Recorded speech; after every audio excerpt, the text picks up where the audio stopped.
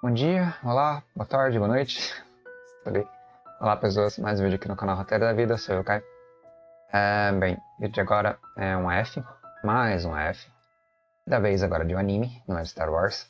E o anime da vez é Natsumi Yojinchou San. Episódio 8 do Yojinchou San. Eu gostei bastante dessa frase do episódio 8. Vou gravar a tela para vocês verem a imagem do tio Natsumi, nosso colega, nessa bela frase onde ele estava num trem, se não me engano, um trem, viajando para encontrar um amigo, se eu não me engano, um amigo. Mas é isso aí. A frase que ele fala nesse episódio 8 é a seguinte: Só um momento separa um encontro de uma despedida. Mesmo assim, guardo todos eles com carinho. Só um momento separa um encontro de uma despedida. Mesmo assim, guardo todos eles com carinho é uma coisa contextual, né? Ele tem ali um momento de afeto por alguém que ele tem muito carinho, né? E ele tem um encontro que é muito breve. Esse encontro ele é um encontro intenso, mas ao mesmo tempo um tanto triste. Por quê? Porque a despedida é iminente. É uma despedida muito direta, né? É tipo, não tem como você ficar ao lado da pessoa que você está que você tem afeto. E aí a conclusão: guardo todos esses momentos efêmeros e singelos e curtos e breves com carinho. É uma frase linda. Por isso que eu fiz ela, por isso que eu peguei ela. Ela não é grandemente filosófica, é uma frase poética e muito bonita. E o Natsumi fala ela por um contexto, né? Obviamente é um contexto interessante porque o anime é essa vibe, essa aura positiva, essa aura de, digamos, é, relações humanas amorosas e afetivas, com muita conexão e muito vínculo, embora muito atrito e muita dificuldade para conseguir se manter e sustentar as relações de maneira harmônica. No entanto, é muito legal. Então, temos aqui um momento. Esse momento aqui, ele tem que ser bem assim, instantâneo mesmo. Tem que ser uma coisa que corta as coisas ao meio e divide. Uma coisa para lá, uma coisa para cá. Então, por exemplo, você está às 5 horas até 5 horas da tarde com alguém que você, por acaso, pode estar ao lado e você tem afeto, gosta, tem relacionamento com a pessoa, e depois disso você é separado do encontro. Simples assim. Porque você tem alguma outra obrigação, alguma outra responsabilidade, uma força outra que te afeta e te faz é, ser arremessado dessa situação, ser é, retirado dessa situação e encaminhado para outra coisa, né? Então você não tem mais aquele instante, aquele local de conforto, de, de de, digamos, de harmonia. E esse momento é aquele instante decisão repentina. Não é tipo, ah, estou planejando e depois quando acontecer eu já estou superado, já vou bola para frente, novo movimento, o futuro que vem. Não, é um movimento de trauma, um movimento de conflito, é um movimento de até certo ponto uma cisão violenta, uma cisão não não consentida. É um tanto quanto triste, entendeu? Não é consentido. Então, esse momento que separa o encontro, que é você estar ao lado, da despedida. Pode ser uma morte repentina, pode ser um afastamento por um, uma crise familiar, pode ser um afastamento de. É, não necessariamente morte ou vida ou crise familiar, mas pode ser uma coisa tipo. É, uma emergência, uma força outra que te, te puxe ou puxa o outro para uma outra relação. Tipo, você tem um grande amigo, tá do lado dele, tá numa ótima conversa, mas do nada ele descobre que tem um trabalho pendente na, no patrão dele, que é imediato, que ele vai arrumar esse negócio, e simplesmente ele tem que sair, sair fora, entendeu? Porque não pode. Então esse instante, esse momento é muito repentino, é muito brutal.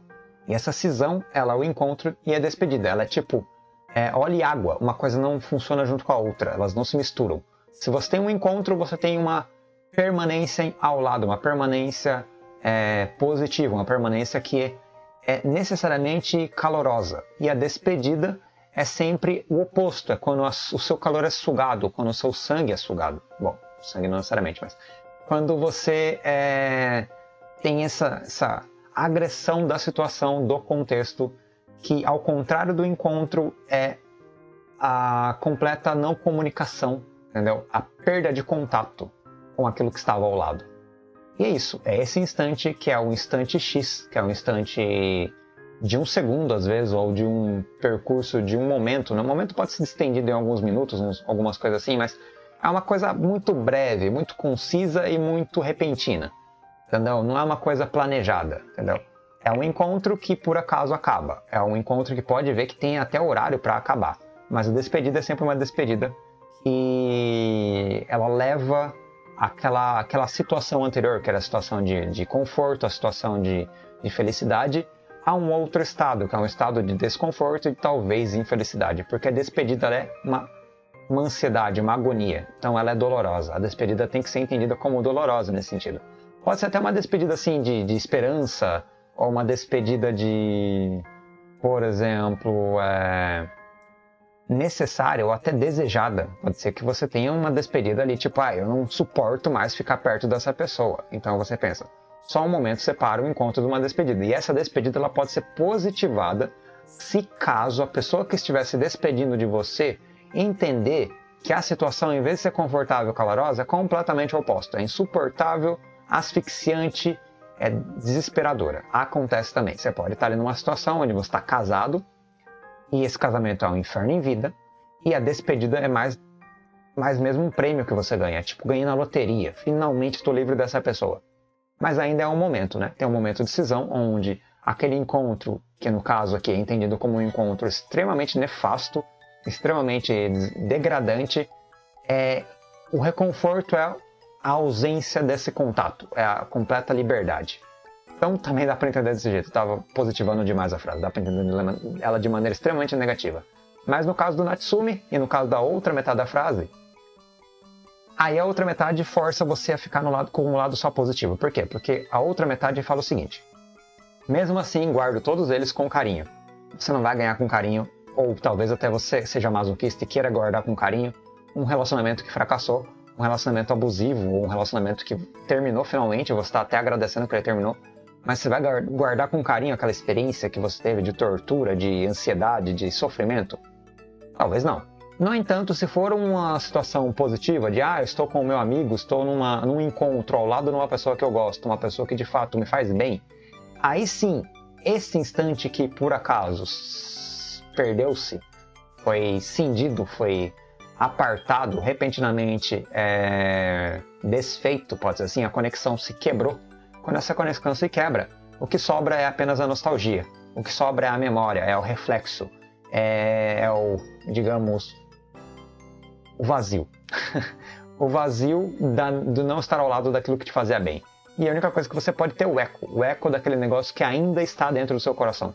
E nisso você vai guardar esse fragmento, esse momento e bom, o momento é aquilo que separa, né? Mas você vai guardar aquilo que foi separado, aquilo que foi positivo, que pode ser uma, uma, um período de tempo grande, até um período de encontro razoavelmente é longo, não necessariamente curto. O momento da separação é, é breve. O momento é aquilo que corta. Mas o que ele está cortando pode ter sido um momento longo, pode sido um casamento, pode ter sido um emprego, uma relação longa com um amigo, pode sido uma relação de longa duração. E essa relação de longa duração ou de curta duração, depende aí da, da relação em si, vai ser guardada, vai ser armazenada, vai ser é, protegida dentro de você. Protegida, relembrada vai ser um, uma herança, vai ser um, um, tesouro, pode dizer assim.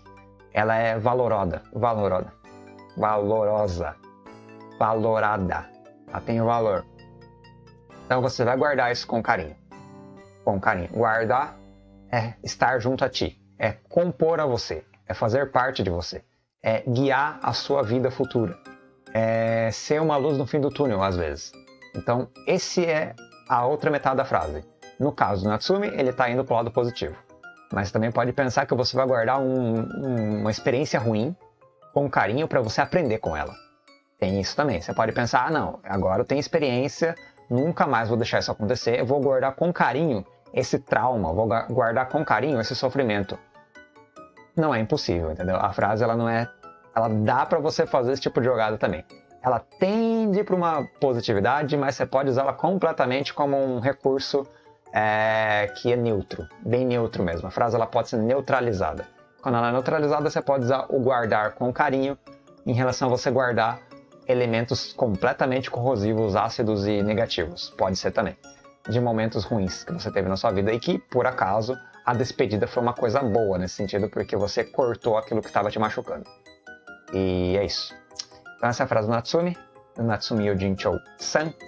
E acabo por aqui. É uma frase bacana, bonita, poética e vale a pena. O anime é divertido também, vale a pena de ver, quem quiser ver. Embora seja um pouco longo, tem várias temporadas, né?